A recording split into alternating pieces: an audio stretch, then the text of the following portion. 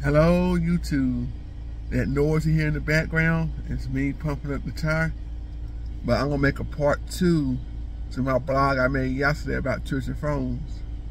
Now, the only time I think kids have a phone and they under 13 is for ICE. Emergency call only.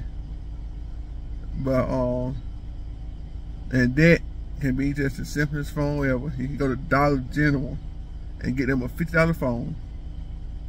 I mean, they can still play games on it and whatnot. But it only have mercy contact, the parent numbers and all that whatnot. But yeah, that's just my opinion about church's phone. Like I said, this is part two to my first blog. And I'm gonna try to have a blog every single day. I'm gonna be under a minute. Under two minutes, I mean. Sometimes it might be two minutes or longer. But yeah, let me know what y'all think about my blog. Comment on it and leave your opinion. And I might make a video about it. I hope y'all have a good morning.